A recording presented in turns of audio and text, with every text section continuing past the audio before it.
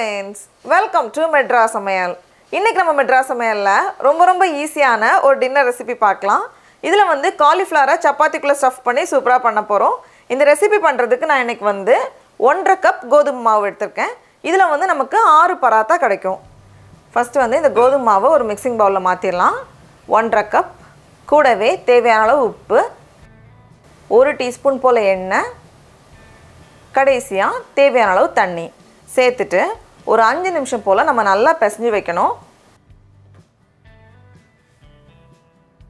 இந்த மாதிரி நல்லா ஒரு வாட்டி பிசைஞ்சதுக்கு அப்புறமா கொஞ்சமாக மேலே எண்ணெய் தேய்ச்சிட்டு மூடி வச்சிடலாம். காயாமல் இருக்கும். மாவு ரெடியாக இருக்குது இது வந்து ஒரு இருபதுலேருந்து முப்பது நிமிஷம் போல் அப்படியே வச்சுக்கோங்க. இப்போ வந்து நம்ம உள்ளே வைக்கக்கூடிய அந்த ஸ்டஃபிங் தயார் பண்ணிடலாம். அதுக்கு நான் இன்றைக்கி வந்து பாதி காலிஃப்ளவர் எடுத்திருக்கேன். கொஞ்சம் சின்ன சின்ன பல் இருக்கிற துருவலாக எடுத்துக்கோங்க. மேலே இருக்கிற பூ மட்டும் இல்லை கொஞ்சம் அந்த கம்போடையும் சேர்த்தே நம்ம சீவலாம். இது வந்து நம்ம கிட்டத்தட்ட ரெண்டு கப் வேணும்.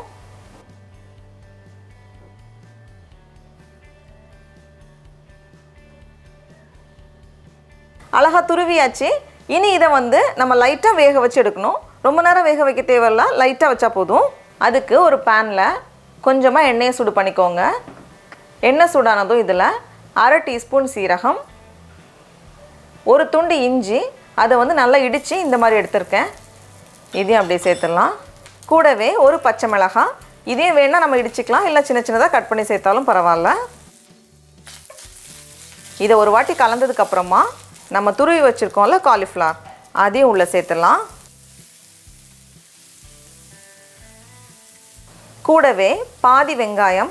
அதை வந்து ரொம்ப சின்ன சின்னதாக வெட்டி வச்சுருக்கேன்.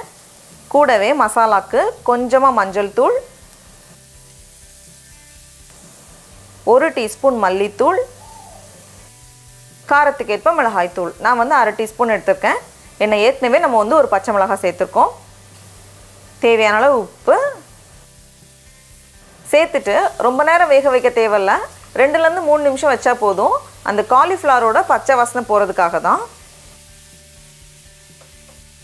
இப்போ இந்த மாதிரி ரெடி ஆனதும் நம்ம ஸ்டவ் ஆஃப் பண்ணிவிட்டு ஒரு பத்து சொட்டு போல் எலுமிச்சை பழத்தோட சாறு ரொம்ப தேவையில்லை. கடைசியாக கொஞ்சம் நறுக்குனா மல்லி இலை. எல்லாத்தையும் சேர்த்துட்டு கலந்துட்டு கொஞ்ச நேரம் ஆற வச்சிடலாம் இருக்கட்டும். உள்ளே வைக்கக்கூடிய ஸ்டஃபிங் ரெடியாக இருக்குது இது கூட நமக்கு வந்து கேரட் வேணும்னா கொஞ்சம் துருவின கேரட் சேர்த்துக்கலாம். ஒருவேளை வந்து பன்னீரில் பண்ணோம் அப்படின்னா பன்னீரை வந்து நல்லா துருவிட்டு இந்த மாதிரி வேக வைக்க தேவையில்ல. எல்லாத்தையும் சேர்த்துட்டு கலந்துட்டு உள்ளே ஸ்டஃப் பண்ணிட்டா போதும். மாவு வந்து இப்போ நம்ம பிரிச்சுட்டு விரிக்க ஆரம்பிச்சிடலாம்.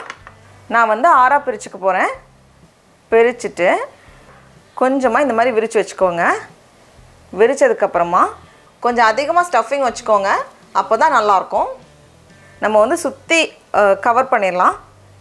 ஒருவேளை இந்த காலிஃப்ளவர் வந்து கொஞ்சம் தண்ணியாக இருக்கிற மாதிரி இருந்துச்சு அப்படின்னா லைட்டாக புழிஞ்சுக்கோங்க. ஆனால் இது வந்து நல்லா ட்ரையாக தான் வரும். இந்த மாதிரி எல்லா பக்கமும் சீல் பண்ணதுக்கப்புறமா மேலேயும் கீழேயும் கொஞ்சம் மாவு தேய்ச்சிட்டு நம்ம வந்து விரிக்கணும். ரொம்ப அழுத்தம் கொடுத்து விரித்தோம் அப்படின்னா டக்குன்னு எல்லாமே வெளியே வந்துடும் அதனால் கொஞ்சம் பொறுமையாக தான் நம்ம விரிக்கணும். அப்போ தான் வந்து ஸ்டஃபிங் வந்து வெளியே வராமல் இருக்கும். லைட்டாக வெளியே வந்தாலும் ஒன்றும் பிரச்சனை இல்லை. அதனால் கொஞ்சம் அப்படி ஸ்லோவாக நம்ம விரித்தோம் அப்படின்னா அழகாக வந்துடும் இந்த மாதிரி விரித்து வச்சுக்கோங்க.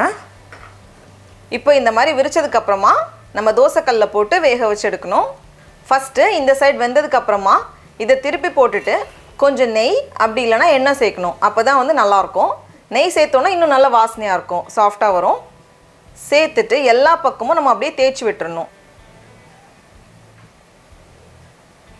அதே மாதிரி அடுத்த பக்கமும் திருப்பிட்டு இன்னும் கொஞ்சமாக நெய் அப்படி இல்லைன்னா எண்ணெய் சேர்த்துட்டு மறுபடியும் எல்லா பக்கத்துலையும் நம்ம வந்து தேய்ச்சி விட்டுறணும் ஸ்ப்ரெட் பண்ணி விட்டுறணும். இப்போ ரெண்டு பக்கமும் நல்லா வெந்து வந்ததுக்கப்புறமா இதை எடுத்து நம்ம வெளியே வச்சிடலாம். அவ்வளோதான்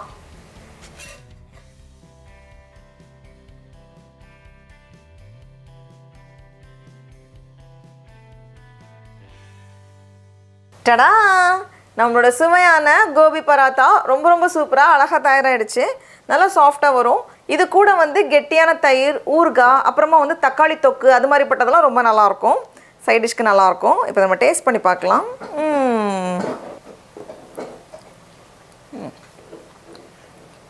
ரொம்ப ரொம்ப சூப்பராக இருக்குது நீங்களும் கண்டிப்பாக இந்த ரெசிபியை வீட்டில் செஞ்சு பாருங்கள் உங்களுக்கு இந்த வீடியோ பிடிச்சிருந்துச்சுன்னா மெட்ராஸ் சமையலுக்கு சப்ஸ்கிரைப் பண்ணுங்கள் நாவின் சுவை எறும்புகள் மலரட்டும்